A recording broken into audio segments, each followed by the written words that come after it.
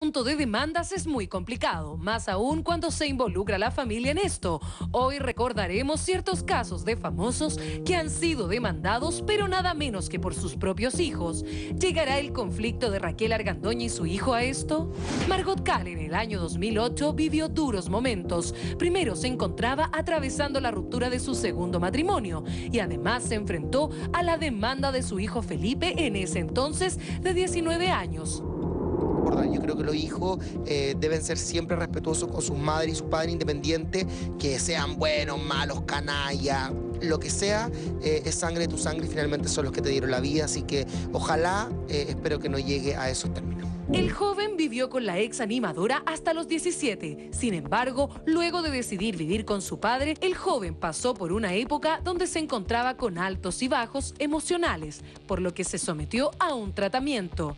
A raíz de esto decide demandar a Cal por una pensión de 350 mil pesos retroactivos más el 50% de su tratamiento que costaba 4 millones de pesos. Creo que hay que ser tremendamente cuidadoso y, respetuoso con lo que está sucediendo, pues naturalmente hay una familia que está sufriendo detrás de todo esto, a pesar de lo mediático que puede ser y a pesar de que en algún minuto hayan expuesto las cosas. Yo creo que en ese sentido pueden hacer un mea culpa. Otro famoso que fue demandado por su hija es Buddy Richard. El cantante la pasó muy mal cuando Carolina, su hija de 36 años, sucumbió ante el poder de la pasta base. Un programa matinal dio a conocer este problema y el cantante de inmediato comentó que estaba al tanto de lo que le sucedía a su hija, pero que a pesar de sus esfuerzos por internarla, ella sigue siendo esclava del consumo de pasta base.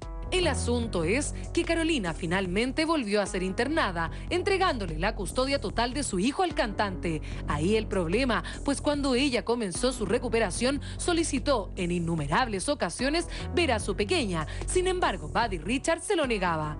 Este fue el detonante de una demanda que impulsó la joven para recuperar a su hija. Difícil acontecimiento, pues ella ya había entregado la tutela de la niña a sus abuelos. Estoy cansada de la humillación que me ha hecho mi papá. Que tengo todo el derecho de ir a ver a mi hija. Ah, te llamo para decirte que por favor cuando me va a dejar ver a la niña y que no me hagáis más escándalo cuando vaya a ver a mi hija granero, papá. Mi hija tiene un año y cuatro meses y la tutela más o menos llegamos a un acuerdo con juzgado, pero se supone que yo soy la mamá, la que la parió a mi hija, que tengo todo el derecho de ir a ver a mi hija. Estoy pasando por un periodo donde, gracias a Dios, estoy bien, porque en un tiempo le dieron cualquier disculpa que te hable así, cualquier color, por ser hija de un conocido, cuando yo estaba metida en droga y todo, ahora yo, gracias a Dios, estoy en tratamiento, estoy rehabilitada.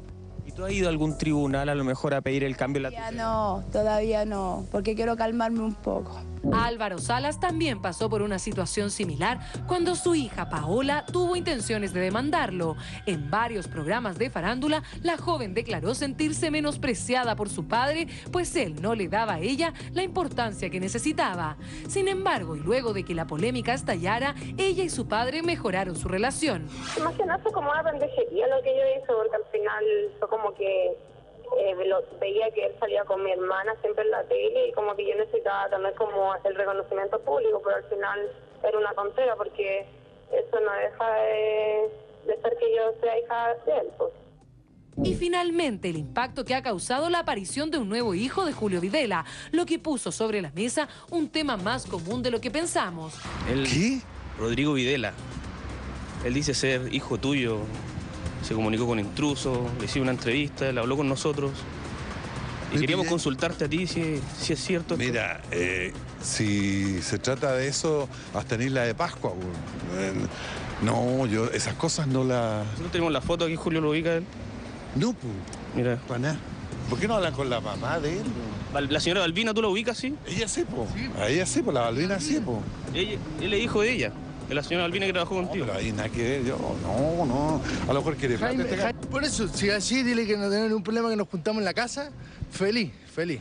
Todo esto sería producto de una feria entre el animador y su productora hace 36 años atrás, el que terminó con el nacimiento de Rodrigo Videla, hijo a quien reconoció, pero de quien solo hoy se sabe de su existencia.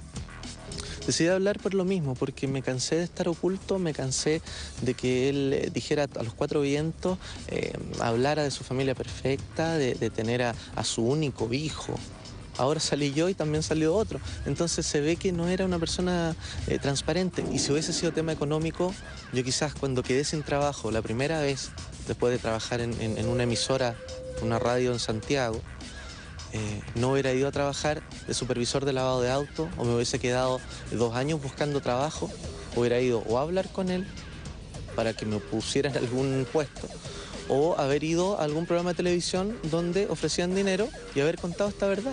Y haber contado esta verdad. El joven tuvo intenciones de efectuar una demanda por paternidad, pues la relación del locutor claramente afectó al demandante. Estas historias son como para no creer, pues es muy complejo que sangre de tu sangre llegue a las instancias legales. Usted Mira, ya yo- decía algo importante No, yo la,